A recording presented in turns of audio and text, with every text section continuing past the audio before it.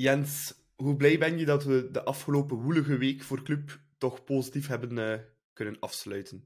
Heel tevreden. Uh, als supporter zijnde, dankzij de overwinning natuurlijk, maar ook voor Rick de Mil, omdat het toch ook een beetje voor hem een kleine kertel op een taart is voor het enkele jaren harde werk dat hij al levert voor Club Next.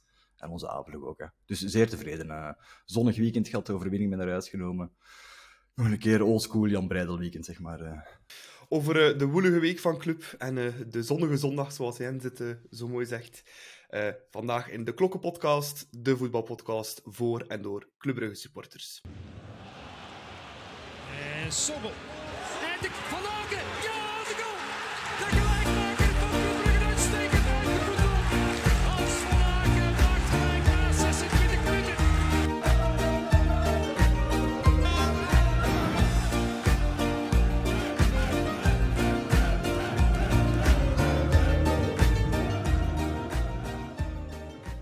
Jens is erbij, maar ook uh, Matthias Dirks is opnieuw komen uh, aansluiten vandaag. Uh, Matthias, hij stuurde me na de match dat je heel euforisch was gisteren, rond een uur of drie, drie uur dertig zal het geweest zijn.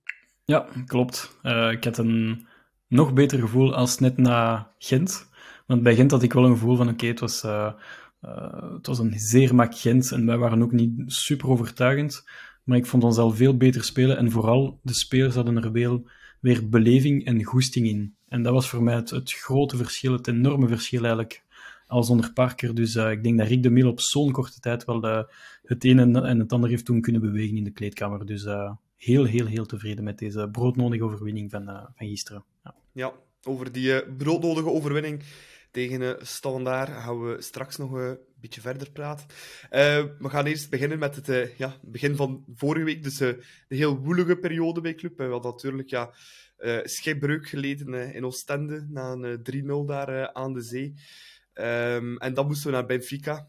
Um, Jens, ja, met een 0-2 achterstand en een trainer die al met anderhalf benen buiten zat. Hè. Ja, um, je zag het ook een beetje voor de match, vond ik de opstelling dat een deed, de keuze dat hij maakte.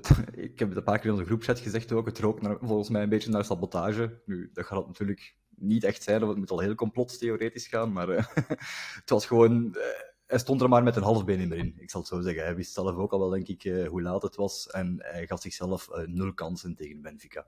En dat heeft zich ja. weerspiegeld in alles.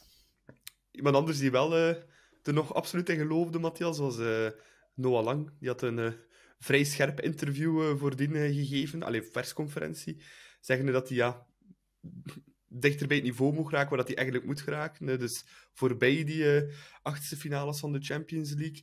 Dat is, ja, dat is toch een beetje jinxen op voorhand. Hè. Dat is toch gevaarlijk, zo'n uitspraak. Dat komt, zeker als je 0-2 verloren hebt de heenmatch, dan weet je dat de boemerang wel heel snel kan terugkomen ook. Hè. Ja, het was een beetje een, eh, een karma die richting het gezicht van, uh, van Noah Lang achteraf uh, weer kaatste.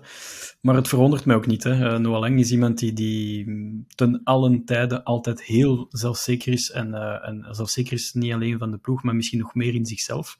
En dat is zijn, zijn goed recht. Ik heb liever ook spelers die met de nodige portie zekerheid aan een wedstrijd beginnen. Zeker een zo'n moeilijke klepper als tegen Benfica. Maar ik zag het meer als grootspraak dan puur als, uh, als uh, arrogantie. Hè. Het, het siert ook nog lang dat hij erin gelooft. Maar uh, ik ga heel eerlijk zijn, en we hadden dat ook aangehaald de, voormalige, de vorige keren, met onder andere Thibaut en William. Geloof bij mij was, was bijna 0% om door te gaan tegen Benfica. En dat heeft niks te maken met aan zich de 0-2, want natuurlijk het maakt dat het aards moeilijk is. Maar vooral met een doodziek club onder Scott Parker. Dus dat zijn voor mij twee zaken die maken dat het uh, een, een ja, quasi onmogelijke opdracht was. En, uh, en zo bleek, want het werd uiteindelijk uh, eh, 5-1. Ja, klopt. Um, Jan die had het al over die rare keuzes van Parker. dat was eigenlijk ook al zichtbaar in Oostende, toen dat we op het einde, voor de eerste keer ooit, met de twee spitsen gingen spelen onder Parker, met Jutkla en Jaremchuk. En dan tegen Benfica ineens Buchanan op het middenveld. Het, is zo'n beetje, het was echt proberen om te proberen nog, denk ik ja, de, de last dance of zo. Hè. Het is uh, toch maar een poging doen van, van in de hoop dat het pakt en dan als master tacticus bestempeld worden of zo. Uh, dat is het enige wat ik erop kan bedenken, dat hem probeerde. Nu ja, dat heeft natuurlijk helemaal niet uitgepakt. Uh, ja, ik wil even inpikken op wat dat Noah Lang met zijn interview Ik vond dat ook net zoals Matthias eigenlijk. Ik, ik vind dat een beetje overroepen in de media dat dat weer zo uitgesingeld wordt. Hè. Ik vind het net goed als een speler die ambitie heeft voor te winnen. Je ziet, onze coach had het niet. Dat liever een speler het wel heeft dan eigenlijk. Hè. Ja, nee, dat klopt. Uh, ja, maar eigenlijk, Matthias, ja, je zei het al net. Op geen enkel moment hebben we eigenlijk in die wedstrijd, die terugwedstrijd in uh, Lissabon, aanspraken kunnen maken op, op een stunt of ook maar uh, in die richting gegaan. Ehm, na één minuut was het eigenlijk al bingo met een wereldgoal van Mario die nog afgekeurd werd. Ehm, maar wat weinig ja. in de pap te brokken. Hè. Nee, sowieso. Uh, Benfica was zelfs niet twee niveaus hoger. Ze waren uh, vijf, zes niveaus sterker als ons. Ik zei nog na de wedstrijd in onze WhatsApp-groep, uh, als, als je dit, dit, Benfica laat spelen tegen het huidige Man City of PSG, ik denk dat ze echt wel heel veel kans maken om, om ook daar door te stoten. Dus Benfica is compleet out of our league. En wij hadden te maken toen met een doodziek Club Brugge, dus ja, het was, het was uh, hard tegen ons echt. Um, en ja, als je probeert dan een, een speler die compleet uit vorm is, uh, TJ Buchanan, en je zet die dan op het middenveld, ja, dan is dat gewoon, uh, ja, not done. En zoals Jens zei, dat is gewoon puur iets proberen om te proberen. Maar toen wist Scott Parker al van, oké, behalve als ik nu hier met 0-3 of 0-4 ga winnen in Benfica, maar die ging natuurlijk nooit gebeuren, dan kan ik eventueel nog coach blijven bij club. Maar het was een uh, beetje een chroniek van een aangekondigde C4 en, uh, en zo geschieden. Dus uh, nee, nee, het was een zeer zwakke wedstrijd van club en tegen een bijzonder sterk Benfica. Ja, Jens, waar zie je dit Benfica eindigen? Want uh, ja, het is toch een heel sterke ploeg. Heeft ook al Juventus eigenlijk uitgeschakeld in de groepsfase. PSG in bedwang gehouden, daar ook eerst geworden in die groep. Ja, ik ben wel uh, akkoord met, met Matthias. Als hij zegt dat uh, op hetzelfde niveau als PSG, uh, inderdaad, ze zitten nu al verder dan PSG. Dus in dat opzicht ja. hebben ze die al verslagen, zeg maar. Maar die kunnen, dat is wel zo'n ploeg die kan verrassen en vergeraken. Hè. halve finale zou me zeker niet verrassen, dit Benfica. en ja, eenmaal dat daar zit, kan alles in principe. Hè. Als je kijkt, ja, mhm. Ajax zat op een haar, ja, ook finale enkele jaren terug. Ja, dit Benfica kan dit zeker ook. Ja, dat is een uh, onwaarschijnlijk sterke ploeg. En wel met een heel goede trainer ook, hè, Matthias? Uh... Ja, Roger Schmid, uh, Duitser. ja, fantastische coach. ik heb gehoord dat hij, niet, dat hij aan het twijfelen is om te verlengen. Ik vind dat ongelooflijk, want hij wordt letterlijk op handen gedragen daar bij Benfica Lissabon. Ja. Maar ja, uitstekend. Als je nog een stap hoger op kan zetten, natuurlijk. Ja, ik denk. Maar anderzijds, dat is altijd een risico. Hè. We hebben het gezien bij Schreuder, bon, dat is nu wel een heel ander voorbeeld, maar uh, ja, kampioen met club had uh, de kern volledig in zijn hand. En dan uh, komt Ajax en oké, het is twee stappen hoger opnieuw. Maar dat is niet altijd de juiste keuze. Dus ik denk, Roger Schmidt heeft al heel wat clubs gedaan in zijn jonge carrière. Dus um, ja, moest ik hem zijn, zou ik misschien opnieuw bevestigen bij Benfica. Maar kan hij überhaupt beter doen dan zo goed zijn in de Portugese Liga en tegelijkertijd ook ver gaan in de Champions League? Dat is de vraag natuurlijk. Mm Sportief uh, lichtpuntje wel, Jens. Um, dat was die wereldgoal van uh, Björn Meijer. Hè? Dat is toch uh, going out with a bang dan toch in de Champions League. Ja, het, tegen dan had ik de televisie al afgezet, maar ik heb hem daarna wel op de herhaling bekeken. dat is het lichtpuntje van de avond, ja, klopt. Nu, hij heeft dat zelf, Meijer heeft dat gevoel wel meegedragen naar dit weekend toe. Dus voor hem denk ik dat dat wel een positief iets is, sowieso, ja dat scoren op dat wereldtoneel je eigen laten zien. Ook al gaat je vijf in het ja. Het is toch iets dat je meepakt. Ja. Ja, ik kan het wel geloven. Ik denk dat hij ook wel heel content was met die goal. Een uh, ander lichtpuntje, Matthias, dat was toch de, het legioen, het uh, blauw-zwarte legioen dat naar uh, Lissabon was afgezakt. een kleine 5000 zullen er geweest zijn. Dat is toch ja, heel impressionant hè, voor ja, eventjes naar Lissabon te gaan met allemaal Belgische supporters. Ja, ik vind het uh, met grote getallen. Uh, maar ik had niks anders verwacht. Als, uh, ik zat in, in Leverkusen bijvoorbeeld ook. En daar waren we bijna ja, een kwart van het stadion of een, een vijfde van het stadion aan het vullen. Dus dat echt ook veel. En, en Lissabon is natuurlijk een heel aantrekkelijke locatie om naartoe te gaan als bezoekende fans in Europa. Maar vooral wat mij is bijgebleven van die bezoekende fans, dat zijn de Bridges Till I Die en Bridges Will of You helemaal op het einde van de wedstrijd. Ondanks een 5-1 uh, eh, ja, dramatische prestatie van de ploeg. Scott Parker, die waarschijnlijk zijn CV ging krijgen. En toch waren die 5000 supporters aan het, uh, aan het juichen en, aan, en de spelers aan het toejuichen. Dus echt, bij, bij zo'n momenten voel ik mij dan nog meer verbonden aan club dan uh, tijdens onze gloriejaren de voorbije zes. Ja. Mhm. De Champions League zit erop. Jens, Europees voetbal is gedaan voor, voor dit seizoen. Maar we kunnen, we kunnen wel zeggen, denk ik, dat we het er toch het maximum hebben uitgehaald. Ik denk dat er nog verder geraken dan deze achtste finales er eigenlijk niet echt in zitten op dit moment. Voor een Belgische ploeg dan. Ja, toch met de coach dat we hadden zeker niet, nee. Maar ja, bon, die Benfica was ook sowieso te sterk geweest voor ons toekoer, denk ik. Zelfs met ons beste elftal en de beste coach. We hadden het wel een mooiere match van kunnen maken, dat wel. Twee mooiere wedstrijden. Uh, volgens mij hadden we het wel relatief spannend kunnen houden. Dat Benfica aan langs de eind ging trekken, dat lijkt me wel overduidelijk, ja.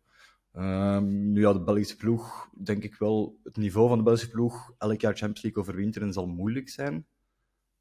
Maar ja, waarom niet? Het is toch wel iets waar we naar moeten streven. Hè? Als we de top 8 competitie van Europa willen zijn, is dat eigenlijk wel iets. Ja, dan moet je toch elk jaar ergens willen meestreven naar die overwintering in de Champions League. En voor mij moet dat gerust elk jaar Brugge zijn, hoor. Dat, geen probleem. voor mij ook uh, heel graag zelf. Um, ja, het gaat misschien nog eventjes duren eer we de Champions League hymne terug gaan uh, horen op Club. Want uh, om nu nog Champions League voetbal binnen te halen voor volgend jaar zal zeer lastig worden, vrees ik. Um, ja, iets heel opvallend, Matthias. Wij zaten allemaal in onze zetel te kijken naar de wedstrijd en ongeveer een kwartier voor het einde kregen wij allemaal een pushmeldingje van Nieuwsblad. Die zegt, uh, Scott Parker ligt buiten en Alfred Scheuder gaat hem opvolgen. 15 minuten voor het einde van de wedstrijd. Dat is toch zeer vreemde timing om zoiets de wereld in te sturen. Guillaume heeft het proberen te verwoorden dat er een bepaalde logaritme of een technisch uh, hoogstandje uh, erachter schuilt om, uh, om dit een kwartier voor de wedstrijd te brengen. Ze waren zichzelf een klein beetje aan het indekken door te zeggen dat zij het nieuws al uh, enkele dagen hadden vernomen. Dus dat ze even goed uh, op uh, bij pakweg zondagavond of op maandagavond de info de wereld hadden kunnen rondsturen. Um, ik vind het eigenlijk nog meer not done tijdens de wedstrijd. Ik vind het um, frappant dat een clubwatcher uh, die nog niet zo lang bezig is trouwens, uh, ik denk anderhalf jaar of zo bij Club. Um, David van den Broek, dat, uh, dat hij rond minuut 75, 80 of zoiets, dat hij ja, een melding geeft van Schreuder in, Parker out. ik vind dat een vreselijke timing en, um, en zeker we zijn nu, denk ik, anderhalf week later. Het nieuws blijkt niet volledig te kloppen, want zijn er gesprekken gaande met Schreuder? Dat is natuurlijk een question mark. Maar als je zoiets de wereld instuurt, dan moet je 300% zeker zijn. Dan moet het bijna het bewijs hebben dat het contract is getekend. Uh, dus ik vond het eigenlijk een beetje een, eh, een no-go langs mijn kant. Maar ik was wel zeer euforisch met het nieuws, want uh, jullie kennen natuurlijk allemaal mijn, mijn voorliefde voor, voor Alfred Schreuder. Dus daarmee was ik wel heel, heel enthousiast. Ja. ja. Jens, jij maakt net als mij ook podcast met de ZGR wij met de klok, uh, er zitten soms actua-zaken in. Ik denk niet dat wij rap iets gaan zeggen dat nog niet officieel bevestigd is uh, in de podcast. Want het Nieuwsblad hij had daar wel meteen een shotcast late night gemaakt, met als titel over Alfred Schreuder, die terugkwam als de Messias. Um, ja, ik vind dat eigenlijk bijna niet kunnen dat dat, dat, dat gebeurt. En ze zijn vandaag dan ook in de shotcast zelf uh, half en half op een stappen moeten terugkomen, maar ik vind dat excuses dan bovenal niet helemaal correct. Uh, Wat hebben ze juist gezegd? Ze hebben, ze, ze, hebben gezegd dat ze, dat ze eigenlijk nooit niet hebben gezegd dat Schreuder 100% zeker ging komen. Enkel dat er gesprekken bezig waren. ja, kom. Sorry, uh, maar die titels zijn toch iets anders. Zoals echt Oftewel bij je clickbaitkrant, dat kan het ook. Uh, maar dat is inderdaad een beetje het probleem. Alles is tegenwoordig een beetje meer en meer clickbaitkranten. En je merkt dat ook. Hè. Als je nu al een, een, kwartier voor het afluiten van de match met je scoop wilt komen, ja, dan zeg je echt wel ver heen, denk ik. Dat, op een gegeven moment moet een eindredacteur toch ingrijpen en zeggen van kom jongens, uh, dat, dit kan echt niet, uh, dat dat dan niet gebeurt. Omwille van een of ander technisch algoritme, zoals Guillaume Abe vertelt. Ja, dat is klinkklare onzin mm. Dit, uh, dit, speelt helemaal in de hand van uh, laatste nieuws, hè, want uiteindelijk ze hebben niks gedaan. Nieuwsblad is 100% zeker van zijn stuk. Blijkt dat dat totaal, totaal niet klopt. Uh, dat dat verre van een akkoord is tussen Schreuder en, en Club. Want Schreuder vraagt twee jaar en een half contract en Club wil een contract bieden van onbepaalde duur. Dus daar is het een fameuze dealbreaker. En laatste nieuws denkt dan uit zichzelf van yes, ze hebben zichzelf een beetje in de voet geschoten. En wij zijn nu weer ja, nummer één uh, krant qua geloofwaardigheid. En dat is ook effectief, zoals je naar de voorbije jaren kijkt. Uh, laatste nieuws heeft, vaker juiste informatie uh, gehad over transfers, bestuurskeuzes, coachkeuzes enzovoort. Dus ja, opnieuw ja, min één puntje voor, voor Nieuwsblad. Dat is de realiteit. Ja. ja, nee, dat klopt. Nu, los van de hele media-hetsen, ik vind het ook, Jens, eigenlijk vanuit Club Brugge zelf zijnde, dat dit uitlekt nog voor het einde van de wedstrijd, of zelf enkele dagen voordien, naar de pers al. Ja, ik vind dat eigenlijk... Allee, we zijn misschien niet allemaal de grootste fan geweest van Parker, maar ik vind dat eigenlijk gewoon een gebrek aan respect voor, uh, naar, naar je eigen trainer toe, die nog altijd actief is op dat moment in je club. Um... Ja, of dat, dat bewust gelekt is, dat, ja, dat is altijd moeilijk in te schatten natuurlijk. Hè. Um, dan zou het al gedaan moeten zijn voor schade te kunnen berokkenen aan de Parker. wie dat daar iets bij te winnen heeft, dat weet ik zo direct niet eigenlijk. Um, zeker niet als, het, als Club Brugge dat niet netjes afhandelt met Scott Parker ook niet, dan wordt dat zo een van een juridisch steekspel. Dat gaan ze ook niet willen. Ik denk ook wel dat Club ook liever de klasse en het fatsoen heeft van dat heftig af te handelen. Dus ik denk ook niet dat het bewust gelekt is aan de pers of zo. Uh, ja, ik weet niet wat er gebeurd is. Uh, en, en in, ja, sowieso het nieuwsblad dat te snel uh, zijn bronnen willen gebruiken. En ja, de volgende keer gaat het nieuwsblad die bronnen niet meer krijgen, denk ik. Hè. Ja, dat wordt toch moeilijk, hè, Matthias. Um, maar ja, het is toch... Ik blijf toch um, ook van Club uit niet zo'n mooi verhaal. Ik kan veel zeggen over Parker, maar het is wel een, uh, een gentleman. Dat, is, dat kun je toch op zijn minst zeggen. Dan vind ik dat je die ook als een gentleman moet behandelen. Uh, Absoluut. Um, als ik kijk naar de communicatie van zijn uh, exit, ik vond het eerder kortaf en een klein beetje sec aan de kant van club. En ik vind het spijtig, want oké, hij heeft maar, uh, hoeveel is het, 67 dagen coach geweest en ja, een record aantal uh, gelijkspellen en, en, en, niet veel punten gepakt. Maar dan nog, het blijft een, het is een mens. Ik bedoel, hij, hij, hij, roeit met de riemen dat hij kan. En, ehm, en oké, het is een slecht verhaal geworden, maar daarom moet je niet per se zo seks zijn. En, um, en ja, misschien even terug te komen op die clickbaits en, en het feit om heel snel exclusieve info naar, naar buiten te gooien. Natuurlijk, op die Europese ways heb je heel veel persbabbels, persdiners. Uh, er worden heel, alle mensen van club en van de pers worden samen bij elkaar gebracht. Dus dan kan er soms een keer een info lekken. En waarschijnlijk heeft ja, David van den Broek gedacht van yes, het is nu mijn gloriemoment. ik moet even eruit springen, zoals we zeggen. En, maar het is heel foutief afgelopen. Dus ik hoop alleen voor hem dat, dat, dat uiteindelijk toch tekent. Dan heeft hij toch uiteindelijk wel gelijk gehad. Maar, maar de manier waarop is zeker niet super. Nee. Mm. Over Scott Parker dan, Jens.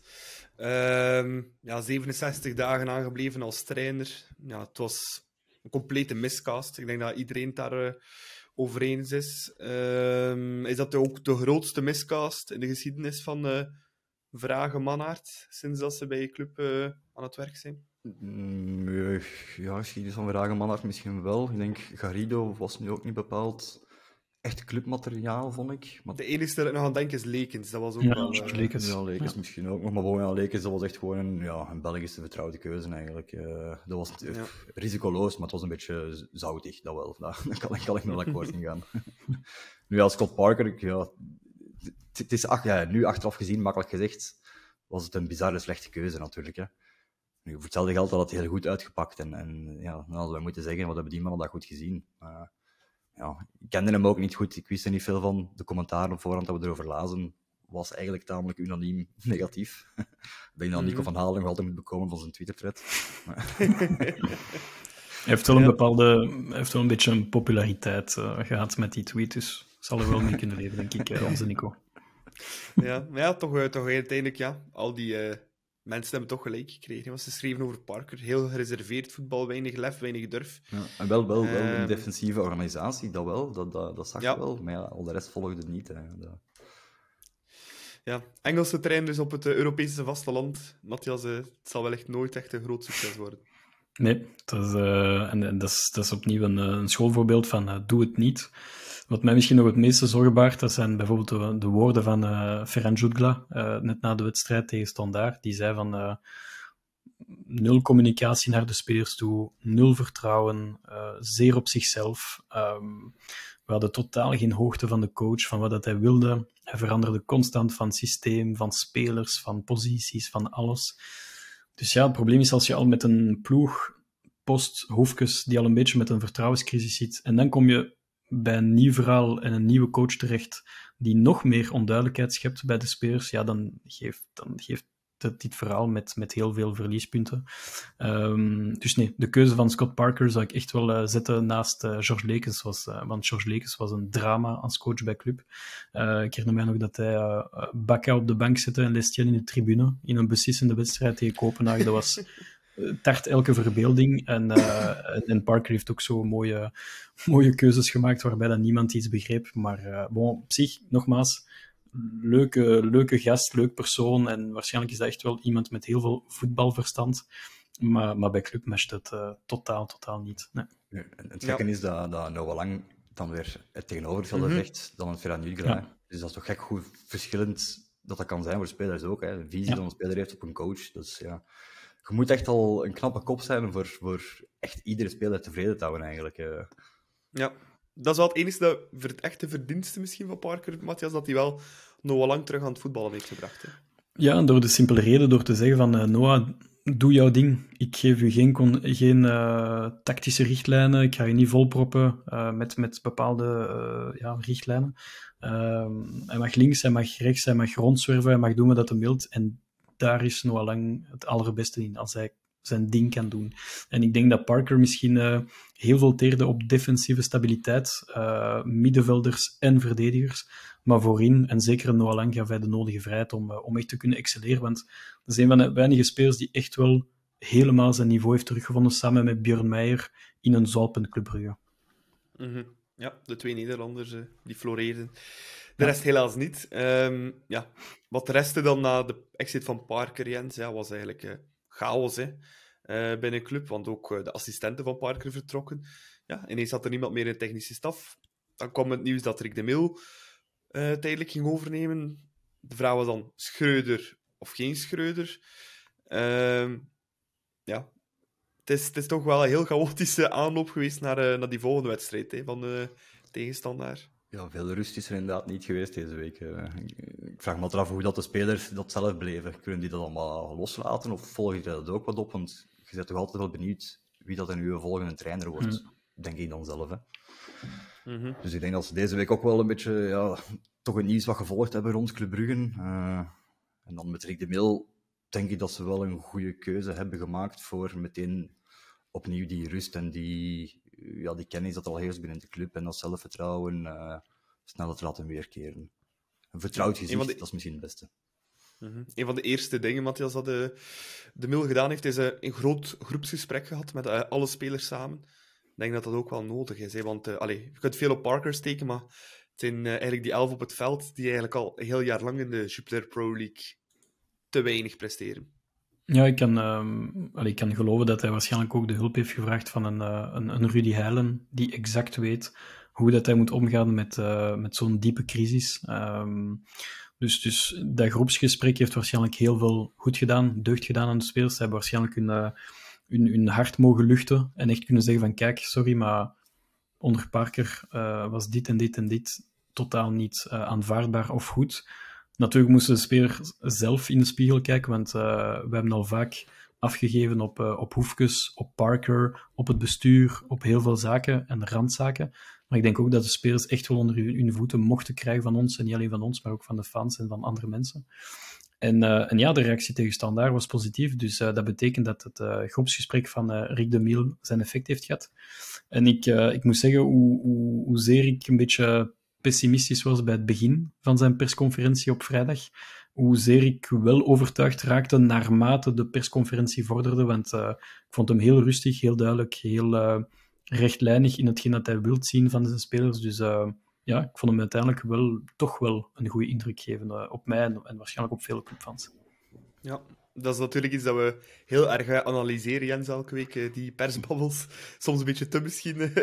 maar um, ja, je deed het toch niet slecht. Uh, die eerste babbel, heel eerlijk, zoals Matthias zegt. Uh, en iets minder clichés. Maar Parker, dat vonden we ook van Parker in het begin, dat hij dat ook goed deed. Maar ja, veel trainers vervallen namelijk wel wat in clichés.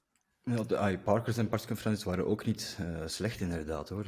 Maar bon, uh, als dat de referentie is voor ook een goede coach te zijn, dus hoop ik wel dat Rick de Mil nee. iets verder staat dan nee, dat. Nee, nee, maar communicatief, eh, Rick de Mil vindt het ook wel sterk. Het is niet alleen dat groepgesprek, zoals Matthias zei, maar hij heeft ook nog individuele gesprekken gehad met de spelers. In dat groepgesprek ging het dan eerder om frustraties uiten in de groep, samen aan die oplossingen denken.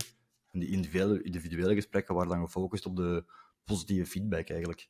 Dus kwestie dat niet enkel 100% negatief is. Hè. De spelers moeten ook nog een beetje hoop krijgen omwille van die positieve gesprekken. Dus ik vond het heel goed gedaan. Ja. En uh, heeft dan ook meteen enkele knopen doorgehakt. Want uh, ja, toen we de opstelling kregen, uh, Matthias, voor de aftrap tegen Stalnaar, ene Jorne Spileers, die in de basis stond, dat toch niet veel mensen zien aankomen. Ja. Met de geschorste Mechelen had iedereen gedacht, ja, misschien toch Boyata die wordt gezet. Maar kijk, het is de ex-trainer van Club Next die het, ja, zijn poulaintje, zal ik maar zeggen, heeft opgesteld. Ja, ik vond het vooral mooi dat uh, het centraal duo van vorig seizoen, uh, Abakar Schilla en Jorne Spileers, uh, herenigd werd, want ze kennen elkaar ook. dus dat vond ik geweldig. Um, ik had eigenlijk, ik was verrast aan de ene kant, maar tegelijkertijd ook niet. Rick de Mil is coach, Rick de Mil kent Jorne Spileers door en door. Um, ik denk ook dat die keuze redelijk genoeg, allee, of redelijk veel, veelzeggend is voor Dedrick Boyata. Ik denk dat Dedrick Boyata op uh, korte, middellange of lange termijn geen uh, toekomst meer heeft bij club. Dat is opnieuw zo'n uh, een prestigetransfer of wie weet een, een makelaartransfer is geweest, want Onyedika en Boyata, hun gemeenschappelijke makelaar is Stan Francis. Dus misschien werd de transfer van Onyedika gemaakt door Boyata te halen, wie zal het weten. Maar wij wisten ook van tevoren dat, dat Boyata waarschijnlijk niet echt ging doorbreken bij club. En zo blijkt, hij wordt zelfs nu gepasseerd door, uh, door één Jorne Spileers. Uh, maar bijzonder blij met de keuze achteraf gezien, want uh, ja, dijk van een match gespeeld, vond ik wel. -hmm. Daar gaan we het zeker nog over hebben. Iemand die ook vertrouwen kreeg van de Mil, Jens, of twee spelers, waren um, Jutkla en Mats Rits, die terug in de basis starten. Ja, dat moet ook wel goed doen voor die jongens voor ja, te weten waar ze staan in feite. Ja, Jutla gaf het zelf ook al aan. Hij wist al een paar dagen op denk ik, nu dat hij ging spelen. Um, hij is ook niet gewisseld geweest nu. Hij zei zelf ook, ja, dat zelfvertrouwen heb ik nodig. Heb ik gekregen van de coach en heeft mij goed gedaan. En hij scoort meteen, zat ook meteen goed in de match. Toch enkele goede kansen gehad ook. Dus uh, het kon, kon nog beter. Ja. In het begin van het seizoen was het ja, nog beter. Ik vond hem niet maar... zo super, zeker die eerste nee, helft niet. Zeker die eerste helft niet, maar ik vond het wel al terug richting meer goaltjes die van het gaan. Zo. Uh, ja. Ik zag wel de evolutie. Ja, het belangrijkste blijft, blijft dat hij scoort. Hè. Ja, dat is dat. en, en Mats sowieso ben ik altijd een fan van geweest. Uh, dat, is, dat is een speler die weet wanneer hij het spel moet vertragen en die weet wanneer hij het spel moet versnellen. En die kan dan wel een keer opduiken op de juiste momenten in de 16 voor zichzelf kansen te geven. Ja, is, die, heeft niet, die niet de grootste klas, maar dat is gewoon een intelligente teamspeler. Uh, ja, dus dat gebrek aan klas maakt die ruimcoach goed met dat verstand. Dus zeer blij dat Mats terug mag spelen. Ook iemand dat we gewoon nodig hebben eigenlijk. Ja. Uh, Matthias, Club Brugge is meestal traditiegetrouw ja, een vrij uh, bitsige wedstrijd, met vaak ook, af en toe ook al hoog niveau geweest, maar die eerste helft vond ik nu toch van beide kanten niet geen echte topper. Um, het, was, uh, het kwam een beetje traag op gang ook, hè, heel die wedstrijd. Ja, volledig juist. Um, ik vond de, de beide ploegen waren, speelden precies afwachtend. Standaard had wel duidelijk meer balbezit dan club. Uh, dat vond ik wel opmerkelijk. Ik had verwacht dat, dat Rick de waarschijnlijk ging vragen aan zijn spelers van geef er meteen een, eh, een patat op vanaf uh, minuut 1. Maar uiteindelijk het was een beetje een, een steriel uh, ja, balbezit van standaard. Um, heel veel technische spelers, ik denk aan, aan Zinkernagel, aan Alzate, noem maar op. Maar uiteindelijk zonder, zonder gevaar. Um, club vond ik matig spelen, maar de grootste kansen waren wel voor, uh, voor club. Ja. Ik denk aan, uh, spontaan aan Björn Meijer of Jutgla uh, of Noah Leng helemaal op het einde van de eerste helft. Maar voor de rest vond ik het eigenlijk een, een bijzonder matige eerste helft van de, van de beide ploegen. Ja. ja. Iets dat er um, een beetje is ondergesneeuwd in de media over de eerste helft was een elleboog van, van Zinkernagel bij Björn Meijer, in het strafschopgebied overigens. Jens, ja, ik heb de herhaling niet kunnen zien. Het was ook niet op Sports Late Night te zien. Nee, ik heb het um, En daar, had wel, daar was wel iets voor te zeggen, want blijkbaar uh, had Bart Verhagen dat wel gezien, uh, die elleboog. En is hij tijdens de rust naar de mensen van Eleven geweest om uh, te komen klagen dat het niet heruitgezonden is geweest, die elleboog. Natuurlijk een beetje refererend naar die elleboog van Buchanan van drie weken geleden. maar ik vind dat toch niet echt de plaats van een voorzitter om dat te doen. En surtout, Eleven is ook sponsor van uh, Club Brugge. Ja, sowieso. Ik ben geen fan van de inmenging van de voorzitters van ploegen samen met de media. Dus die, die linken moeten we liever niet opgaan. Dus nee, dat Bart vragen en dat doet als ja, hij, hij, moet daarboven staan eigenlijk. ik moet zeggen, is die actie daarna dan herhaald geweest op Eleven Sports dan of wat? Ja, um, op Eleven, dus dat weet ik niet. Ik heb die, ik heb die toevallig teruggezien uh, via het forum, dus ik had die ook niet kunnen zien op, uh, op bijvoorbeeld Facebook pakweg of op, uh, of op Sports Late Night, maar het was echt wel een slag van Zinkernagel op de slaap van, van Meijer. En um, jawel, ik heb het wel gezien op televisie tijdens de wedstrijd, ah, in, toen ik commentaar gaf in de Westtribune. En dat was echt wel een, ehm, ja, dat was, dat was een, een zuivere penalty. Dus penalty was het zeker. Maar natuurlijk, zoals Nicola zegt, een tussenkomst van Bart heeft, allee, had totaal niet gehoeven. Uh, doet mij een beetje denken aan die uh, emotionele reactie net na uh, onze kampioenswedstrijd op Antwerpen, waarop dat hij Union gaat vergelijken met Brighton. Dat zijn opnieuw zaken dat ik denk van, laat het maar achter, achterwege, dat is totaal niet nodig. En, maar bon, het was wel penalty, dat is een, dat is een feit. Ja, maar inderdaad, als, als Bart een beetje emotioneel is, dan gaat hij heel gauw impulsieve dingen doen en dat gaat hij misschien beter laten. dan kan hij even beetje afkoeling nemen ergens en vragen aan zijn perschef, is dat wel een goed idee? En hopelijk zegt zijn perschef dan, nee Bart, dat is geen goed idee. ik denk dat zijn perschef dat ook wel zo gezegd hebben, uh, moest hij dat geweten hebben. Uh. Ja, soms, soms, soms, is het gewoon een kwestie van even in- en uitademen gedurende 10 seconden, even denken en dan zal hem wel denken van, nee. Ik daarmee dat Matthias altijd op het einde van de match een Turken gaat doen, hè. Dat is zo... Uh... Ja, ja dat het heeft meer te maken met stress dan met iets anders, maar ja, ik zie, er, ik zie wel de correlatie ook. het waren nog twee discutabele fasen uh, in die wedstrijd. Een gestrekt been van Odoi, dat uh, niet bestraft werd. Speelde wel de eerste bal, maar ja, het was al gestrekt op het been van de tegenstander. Ook Balikwisha deed het. Um, niet Jens, vond je, je dat rode kaart waardig? Was dat niet die gele kaart van Odoi? Ja, uh, ja heeft geel ah, gekregen. Dus, dus wel, wel, gestraft eigenlijk, hè? Ja, ja. maar sommigen vinden dat rood was. Ja, nu, die fase vond ik nu zelf geen rood eigenlijk. Um, ik denk dat de standaardspeler verzet ook net zo, of, of, of er gebeurd is met die voet, waardoor dat hij wat verplaatst of zo. Het was echt iets, niet met die intensiteit zoals je normaal rood krijgt voor gestrekt been, vond ik. Ik vond die gele kaart wel terecht. Dat is een van de weinige dingen dat Visser wel goed gefloten heeft die match. Maar okay, daar zullen anderen niet mee akkoord zijn. Hè. Ja, dat was natuurlijk wel een fase die Eleven dan op zijn socials eruit lichtte, Matthias. uh, en dan gaan uh, de stemmen van uh, Varhagen, die weer zijn werk heeft gedaan, weer alle richtingen uit. Ja, na de afgelopen weken, we worden ook wel een beetje... Allee, framen is een groot woord, maar het gaat toch soms wel een beetje die richting uit, vind ik. ik denk dan altijd dat, dat het is een beetje het wij tegen de rest gevoel. En ik kan daar wel tegen. We hebben dat zo lang meegemaakt als clubsupporter, maar Nee, ik, vond, ik, ik, um, ik ben totaal eens met, met het oordeel van, van Jens. Um, in volle snelheid en de actie heb ik al twee, drie keer teruggezien. 100% gele kaart, nooit rood. Maar natuurlijk, als Eleven of, of andere socials een, een foto maken van het gestrekt been, ja, dan kan je natuurlijk zeggen, dat is rood. En exact hetzelfde met Balikwisha. Het verdiende geel denk niet dat hij geel heeft gekregen, ik kan mij vergissen. Uh, maar dat is ook geen rood. Dus dan denk ik gewoon twee keer terecht. En die fout op Meijer, ja, dat is natuurlijk het belangrijke, want één, het is geel. En twee, het is een penalty, dus heel veel kans om te scoren. Dus uh, ik denk niet dat Standaard zich echt bekocht of gestolen, bestolen moet, uh, moet voelen, want ik vond het redelijk evenwichtig qua, qua keuzes van de ref.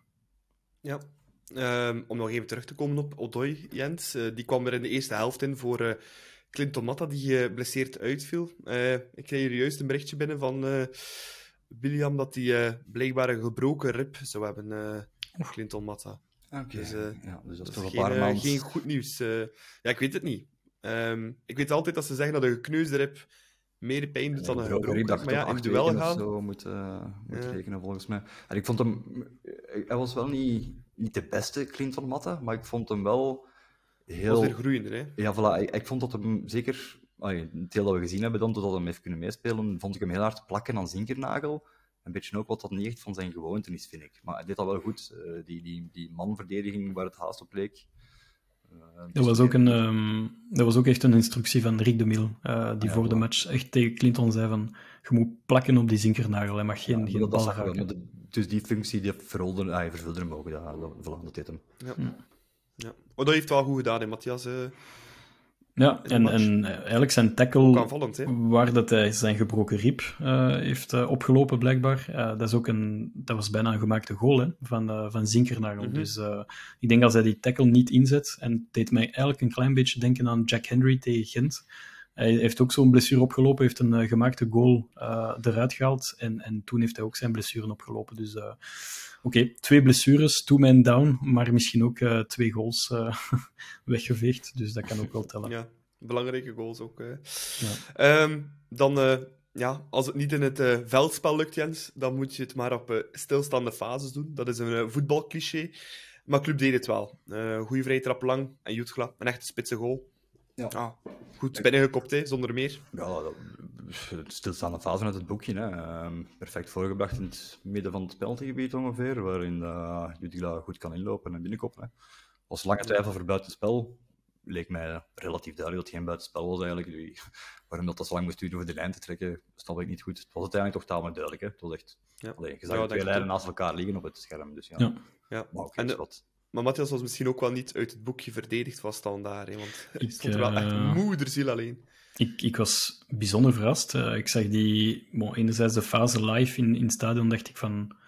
Oké, okay, dat was zeer waarschijnlijk offside, want ik, uh, ik vond dat standaard puik verdedigde tot die fase.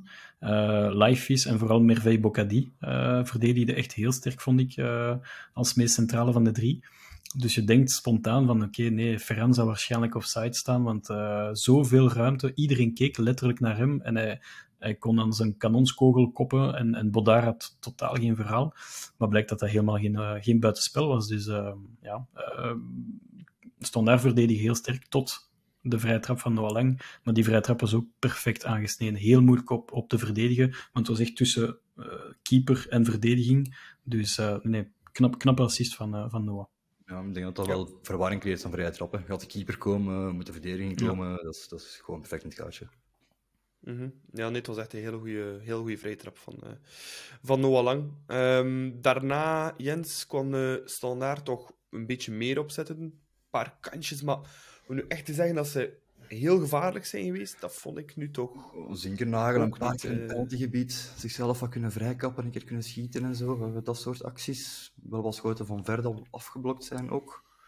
Ja. Maar echt doelrijp, gevaarlijke kansen. Ja, ze hebben Milanese wel twee keer tussen moeten komen en dat sowieso. Hè. Ja, uh, ja dat, wel, dat wel. Bij Dunham geloof ik. Ja, bij Dunham inderdaad, één keer. Ja, één keer Zinkernagel. Maar het waren ook niet de kansen dat enkel een Mignolet kan pakken. Dus allee, het waren wel pakbare ballen. Uh, maar bon, ja, eigenlijk heeft Club ook niet heel veel kansen gekeerd, ook niet natuurlijk. Hè. Nee, nee dat, dat is ook wel juist. Uh, ik herinner me juist nog een lang die onderweg was naar het uh, doel van Standaard, maar dan, uh, en dan de bal, de bal uitgeleid. het was, het was wel grappig. Ja. ja, het was al 2-0 toen wel, natuurlijk. Ah, ja. Dus maakte iets minder uit. Maar uh, ja, nee, inderdaad, Club niet meer heel veel kansen gecreëerd. Uh, Matthias. Um, en al bij al vind ik toch ook allee, toch vrij makkelijk stand gehouden. We hebben toch al matchen gehad dat we gewonnen hebben dit seizoen, dat we het moeilijker over de streep hebben getrokken. En we hebben het ook al vaak laten weg. Mm. Allee, vaak weggegeven aan uh, 1-0 voorsprong of een 2-0 voorsprong zelf. Dat was nu wel, dat gaat nu echt wel goed. Um... Ik ja, ik had wel een, een, een, niet super gevoel net na de 1-0. Ik vond wel dat we zo echt 15 à 20 minuten eh, standaard de bal lieten. Uh, veel te gemakkelijk. Uh, het is heel frappant, hè. als club scoort, uh, meteen gaan die spelers achteruit leunen. En ik had meer dat gevoel van, ik hoop dat, dat Rick de Mil echt is... En hij probeerde het ook, hè. hij zei tegen alle spelers van, jongens, vooruit, vooruit, vooruit. Maar Standaard kreeg wel grip op de wedstrijd. En oké, de kansen waren nu ook niet geweldig, met toch wel een belangrijke dubbele save van, van Mignolet. Maar ik denk dat ze een beetje beter afwerken, want ik vond trouwens veel te veel slappe schoten van standaard in onze 16 meter. Maar ze konden wel de bal rondtikken in onze 16 meter. En dat vond ik wel opmerkelijk. Uh, maar bon, Meijer heeft ons uh, uit onze lijden verlost, als we het zo mogen zeggen. Want uh, het was wel belangrijk, want anders was het weer bibberen tot het einde. Ja, ja Jan, zijn minuut 86. Vrije trap voor club. Ehm, vlak buiten de 16 meter. Ehm, en Björn Meijer moet gedacht hebben. Eentje is geentje, dus ik maak een tweede wereldgoal op een paar dagen tijd. Ja, dat was wel een lekker vrij trap, zeg. je zag hem betrekken en je zag hem zo invliegen. Ja, ja, ja. Als je die... Ik zat wel in de Zuid, was echt heel mooi oh, te zien. Ja, een mooie wegdraaien ja, Ik zat er ook tamelijk recht achter in de zuid en dan zie je hem echt zo ja, perfect binnenkrullen. Uh. Ook dat hem die trapt is zo met de, met de achterkant van zijn, van, zijn, van zijn voet. Maar het is ja, duidelijk zo bedoeld wel. Het is, uh, hij oefent er volgens mij wel op voor het, van die posities met die snelheid en hoogte te kunnen doen.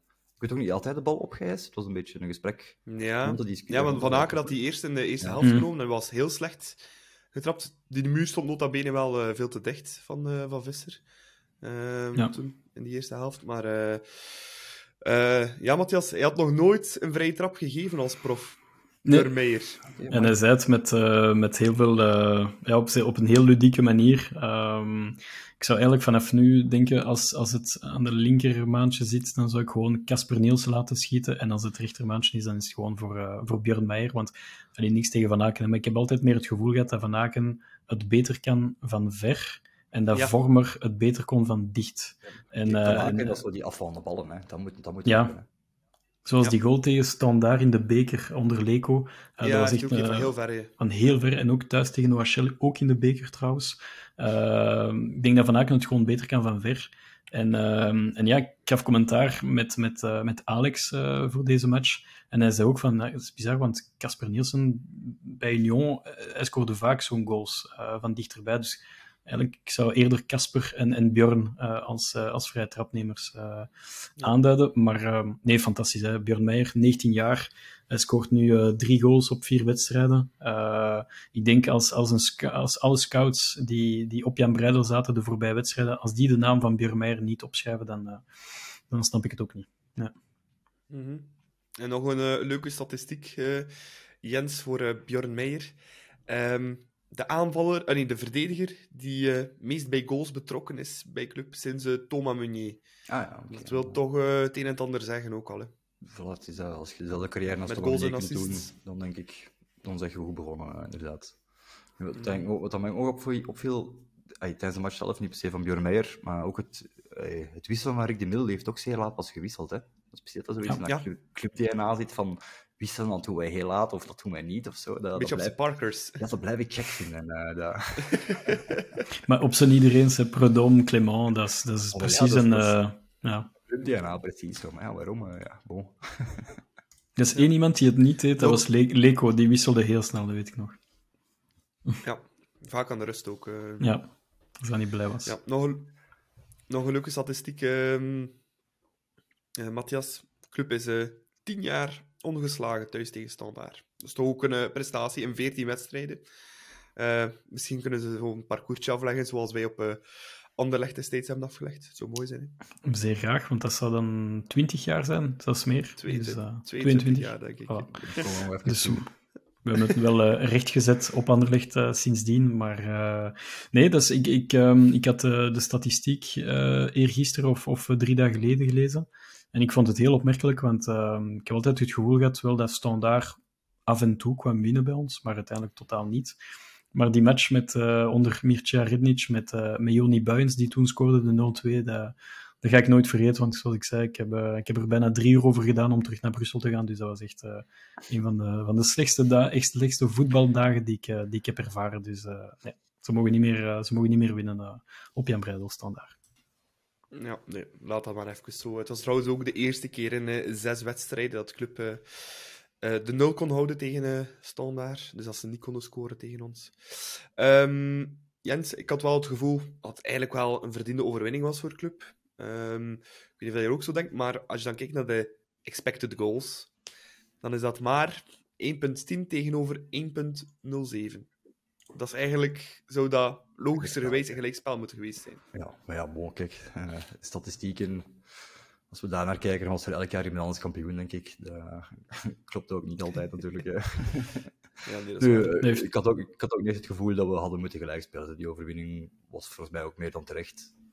Uh, ja, dat zijn misschien een XG-kansje meer geteld hadden of minder geteld hadden. Ja dat Het heeft vooral te maken met die, met die dubbele save van Mignolet. Uh, daar oh, win je al heel veel op die uh, XG. Op het einde, hè? Ja. Het was al 2-0 ja. toen ook. Ah, op het einde is ook een bal van, van een Engelder speler, zeker. Dat zullen we ja. tellen voor ja. XG. Ja. Juist. Ja. En ook als Zate um, schot en Abakar Silla geleid om die dan in corner te zetten. Dus dat was ook zo een prangende fase. Dus ik denk die vier fases maakt dat die XG wat hoger staat.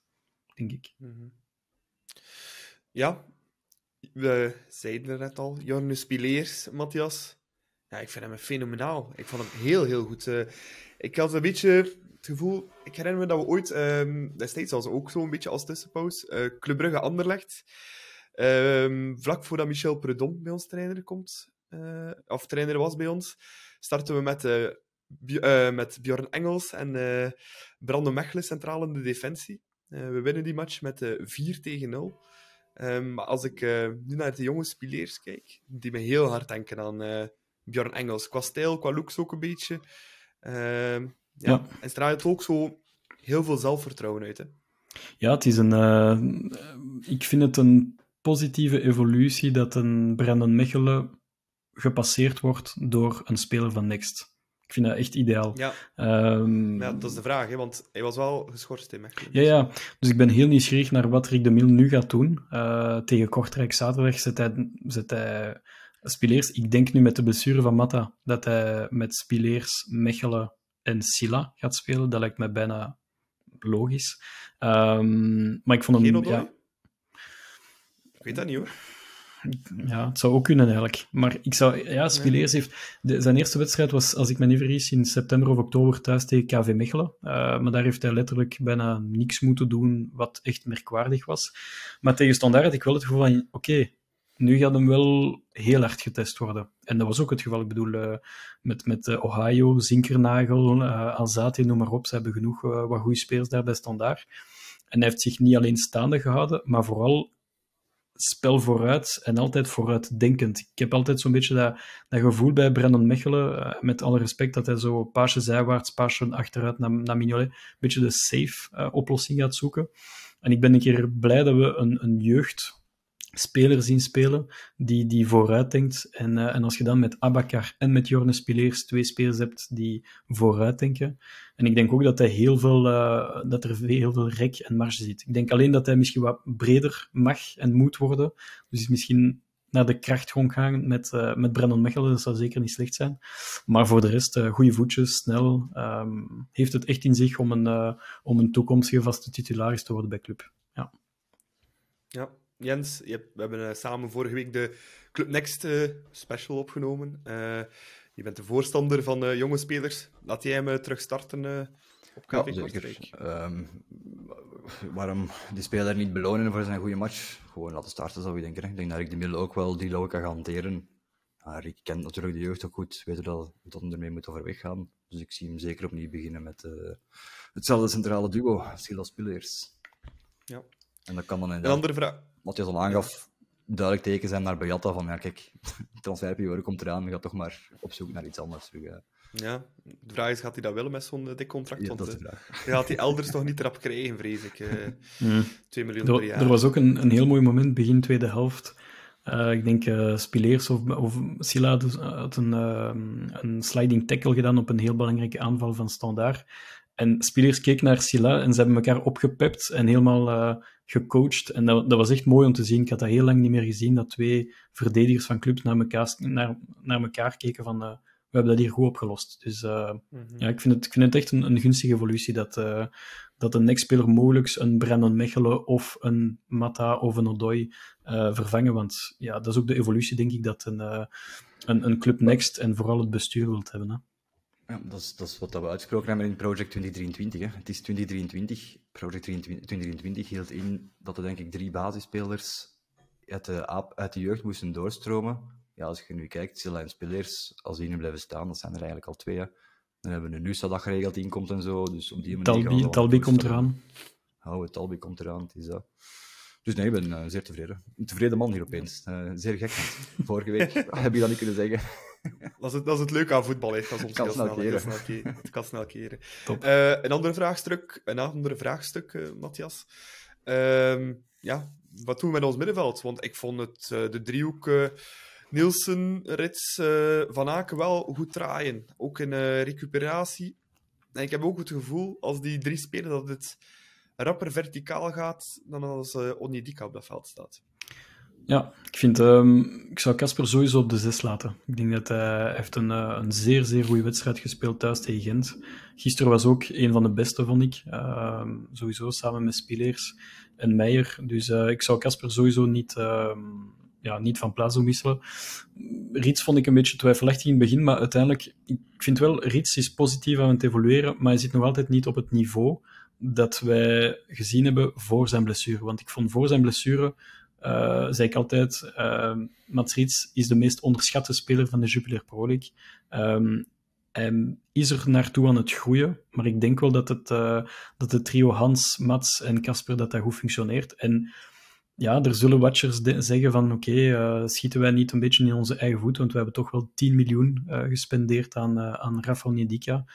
Maar anderzijds denk ik ook dat Onyedika de laatste weken niet super was, dus ik zou zeggen zo laten en we zien wel hoe het, uh, hoe het evolueert. Ja.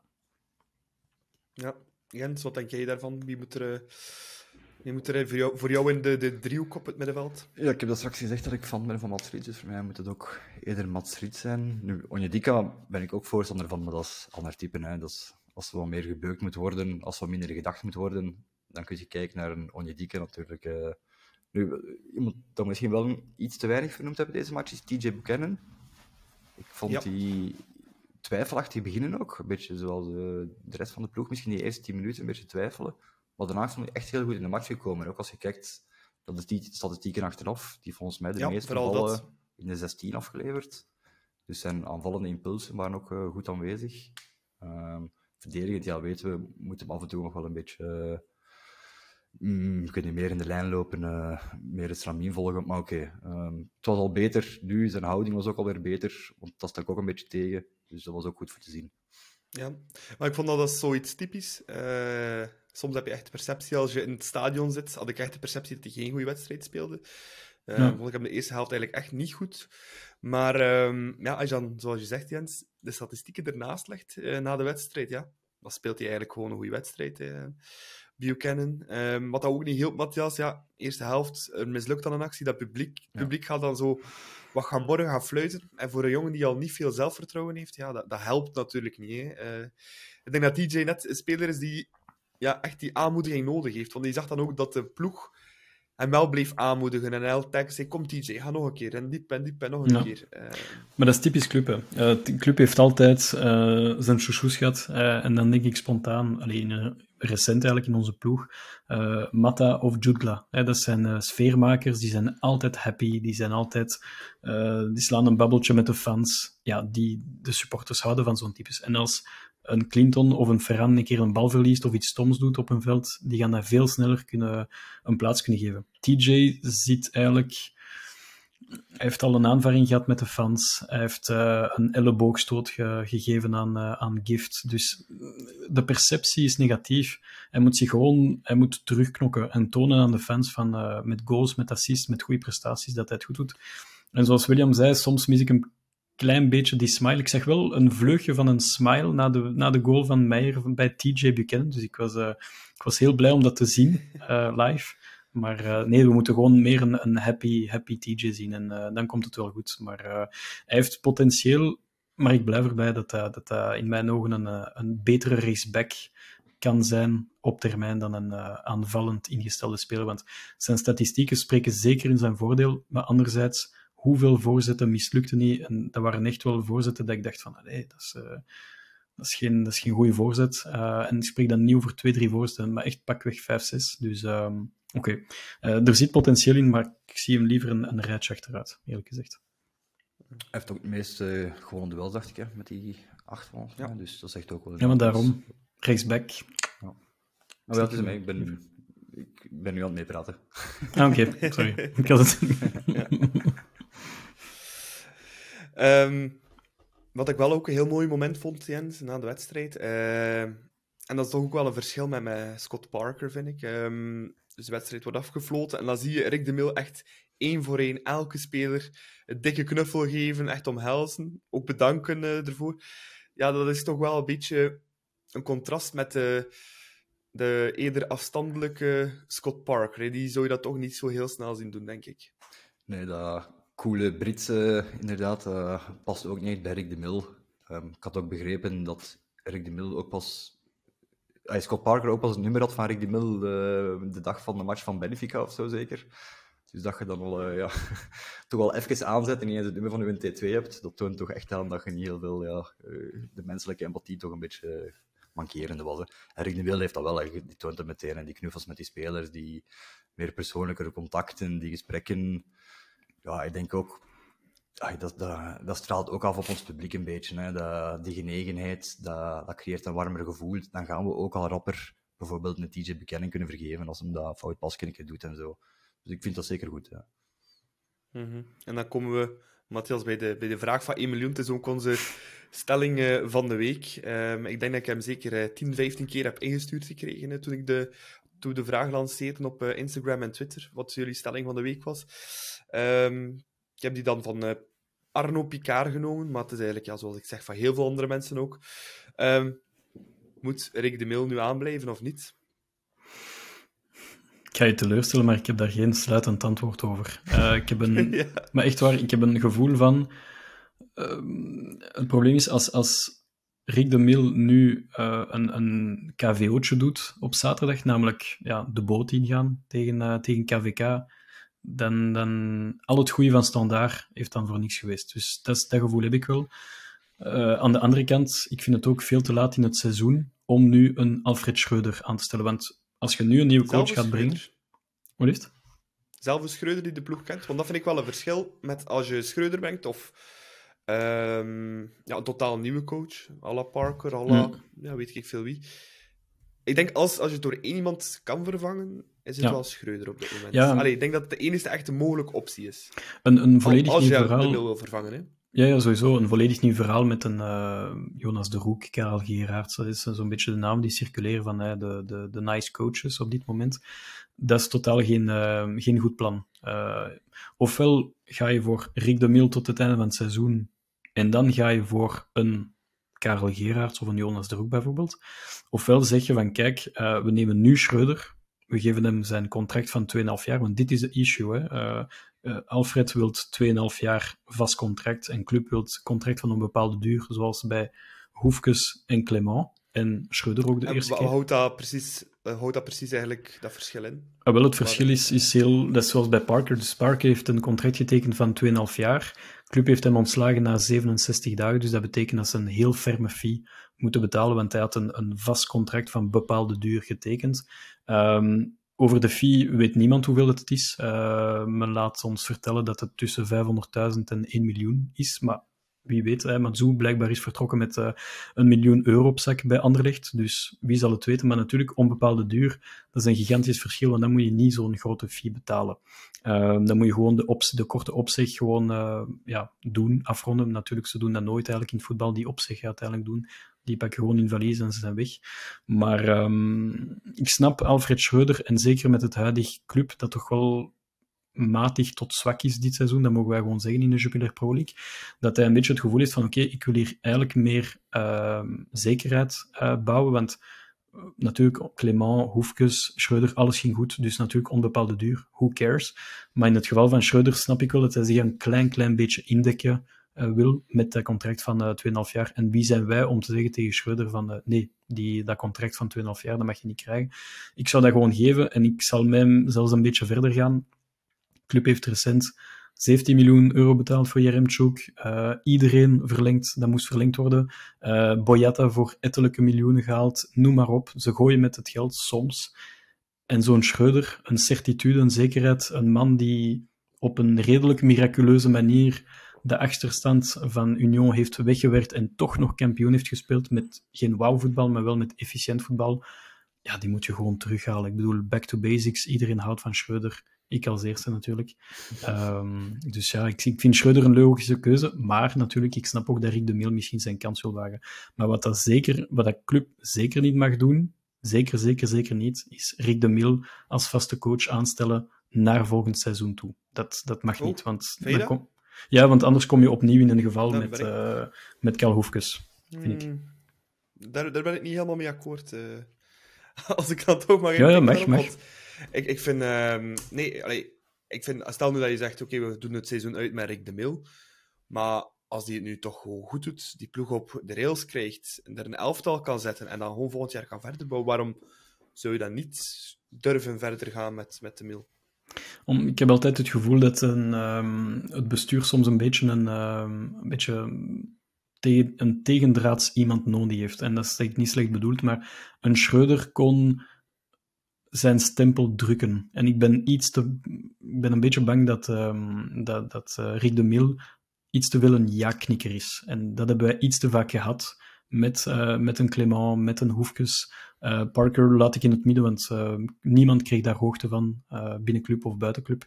maar ik denk dat we weer naar een ijzeren hand moeten toewerken richting volgend seizoen. Dus Rick de Mil mag voor mijn part het seizoen uitdoen. Al heb ik misschien iets liever dat Schreuder binnenkomt deze week, maar ik denk niet dat dat het geval gaat zijn. Maar naar volgend seizoen toe zou ik echt wel voor een, een, een gevestigde waarde gaan. Ja. Ja, Jens, jou hebben we nog niet gehoord in deze discussie. Je hebt er ongetwijfeld ook een mening over. Ja, van mij mag um, Schreuder in Amsterdam blijven. ik moet niet per se terug, terug naar Brugge te zien komen. Je bent een beetje coole minnaar van, hè? Van, uh, ja, ik ben niet zo'n fan van Schreuder. Hij is vooral kampioen geworden omdat Union het zelf heeft laten liggen natuurlijk. Hè. Als Union het had afgemaakt, waren we nooit kampioen geworden. Uh, was er van de heldenstatus van Schreuder ook helemaal geen sprake geweest. Ik zeg bij Ajax, waar hij met de jeugd moet werken, kan hem het niet. Gebruikte hem allemaal oude vedetten of de oudere spelers dan ik aan te falen eigenlijk. Uh, ja, het jeugdbeleid van Ajax, het doorstromingsbeleid, dat bestaat er, dat staat er allemaal. Je moet dat gewoon gebruiken en dan werkt dat. Uh, en hij slaagt daar niet in van jeugdspelers te gebruiken. Hij heeft dat vorig jaar, uh, vorig jaar uh, bij Club ook niet gedaan, dat half jaar. De jeugdspelers zijn toen een beetje aan de kant gezet geweest. je gaat aan Bamba en zo, gaat die Sandra, die onder Clement veel kansen kregen, die zijn opzij geschoven. Dus nee, ik ben niet zo'n voorstander van Schreuder terug te halen. Zelf ben ik middels misschien ook optimistisch naïef of zo. Eerder van het type Geefrik de Mil die kans inderdaad. Laat zien wat, wat schip strand met hem. Um, sowieso vind ik wel dat als Frik de Mil, net zoals jij het goed doet nu, dat gaan wel die kans moet geven om volgend jaar ook nog altijd T1 te mogen zijn. Je moet minstens die voorbereiding gunnen en eigenlijk ook dat jaar. Anders, anders toont je ook een beetje aan dat club geen, geen ambitie heeft om zijn T2's van de jeugdploeg te laten doorstromen naar T1's van de A-ploeg. En dat is ook een beetje wat je wilt zijn. En je wilt zowel die talenten kweken in de voetbalvijver, maar ook in de coachingvijver. Ja. Ik denk naar mijn mening ergens tussen die van jullie twee ligt. Uh, om het uh, diplomatisch te houden. Nee, um, ik vind inderdaad, um, als er nu een akkoord komt met Schreuder, dan is dat de enige man die het kan oplossen. Allee, die het kan oplossen, die mogelijk Dit kan redden. overnemen ja, die iets ja, in handen kan want die kent de ploeg, die kent de spelers. Iemand nieuws halen, sowieso niet doen. Daar ben ik uh, wel 100% akkoord mee. Maar ik ben wel akkoord, um, zoals Jens zegt, kijk, dan moet je gewoon op het einde van het seizoen de rekening maken. Ook uh, wat Rick de Mil dan gepresteerd heeft, al dan niet in de play-off 1 voor hetzelfde geld. Halen we toch nog top 3 of top 2 als we super play-offs doen. Je weet nooit een club die ineens alles terugrecht zet, ja, dan vind ik ook niet dat je Rick de Mil zomaar kan zeggen, ah ja, bedankt voor die tweede plaats. En ja, tot nooit meer. Uh, we gaan nu een andere coach gaan halen. Dat vind ik ook niet. Dus ik vind dat je wel, als die dan goed doet, de mail, dat je hem er ook wel voor moet belonen. Uh, en dat, die rekening kan je pas maken op het einde van het ja. seizoen, vind ik. Uh, ja, om, mijn, allee, om misschien terug te komen op, op, op bij Ajax heeft heel veel uh, titularissen ja, dat klopt kwijt, kwijtgespeeld. Dus allee, ik bedoel, ja, en, en, ja. Dat klopt, maar je hebt daar die mogelijkheid, je hebt die jeugd dat doorgroeit. Elk jaar gaan er veel titularissen weg bij Ajax. Dat is eigenlijk nooit geen probleem voor Ajax. Ja, maar het waren wel heel veel en vooral heel laat in de transferperiode. Ja. Ik denk oh. dat een Antoni bijvoorbeeld, die toen... De club was eigenlijk ook veel spelers kwijt. Hè, en Hoefkens heeft volgens mij die kredieten minder gekregen van ons. Maar oké. Okay, ja. Ik denk, ik denk dat ja... Dan kunnen we over blijven als je, als je dan, als je, ja, nee, ik kan erover blijven discussiëren. Maar persoonlijk maar... vind ik dat de kwaliteit die bij Ajax vertrokken is deze zomer wel of van ba echte basisspelers toch iets groter is dan ja, dat, uh, dat, dat, dat bij Club het geval was. Uh, maar misschien, ja. om misschien allemaal akkoord te zijn, uh, ja, twee opties. Niet, of, of Rick de Mil tot het einde van het seizoen, en dat kan best zijn. En de enige andere keuze is enkel en alleen Alfred Schreuder, want die kent het team en, en hij kan, hij kan het ja. wel doen, denk ik. Dus ja, maar, maar een nieuwe coach is, is geen optie. midden in, allez, zo, zo ver in het seizoen eigenlijk. Ja. Nee, nee dat, dat, denk, ik denk dat we het daar wel allemaal over eens zijn, over dat laatste. Ja. Um, um, maar ja, club doet een uh, goede zaak in, uh, in de strijd om uh, play-off 1 staan. Daar is nu toch wel een beetje achter ons. vier punten. Gent is al onder stoom aan het geraken. Dus de volgende wedstrijd, komende zaterdag op eh, KV Kortrijk wordt een heel, heel, heel belangrijke. En Jens, KV Kortrijk away, dat is toch altijd lastig voor club. Hè? Ik ben toch al een paar keer ook de boot gegaan. Ja, ik herinner me wel dat het toch al relatief lang geleden is, denk ik. En nu de laatste jaren dat we toch altijd... Ja, maar tegen Oostende was het ook lang geleden dat we daar een keer ja, dat nee, we moeten positief zijn, Nicola. ik, ik, ja, dus op, ja, KVK is wel een sterk geheel nu met Stork. Die heeft daar toch wel een, een ploeg van gemaakt die er niet zo gemakkelijk komt kloppen. Dus we zullen scherp moeten zijn, direct van de start aanwezig ook. Ik denk als je het daar een beetje laat hangen, als je daar niet helemaal optimaal begint, dat je wel rap tegen achterstand kunt aanlopen. En dan is het heel moeilijk, denk ik. Als je 1-0 achter staat, Ginder, het publiek gaat een beetje actief zijn ook, zoals altijd. Ginder in Kortrijk als club op bezoek komt, dan worden ze zot. Ja. Uh, dus het zal, het zal toch vechten worden. Dus het hopen dat we ja. op een positieve noot kunnen eindigen ook. Ja, en degradatiespook is er ook nog uh, verre van weg, Matthias. Dus uh, ja, dat is dan extra, extra motivatie voor de kerels. Die hebben de punten nodig. Hè. KVK, het is niet dat ze op een tiende plek staan en dat ze denken van wow, het seizoen is gelopen en nu nog even vijf wedstrijden uitbollen. dat, is zeker, dat is zeker niet het geval.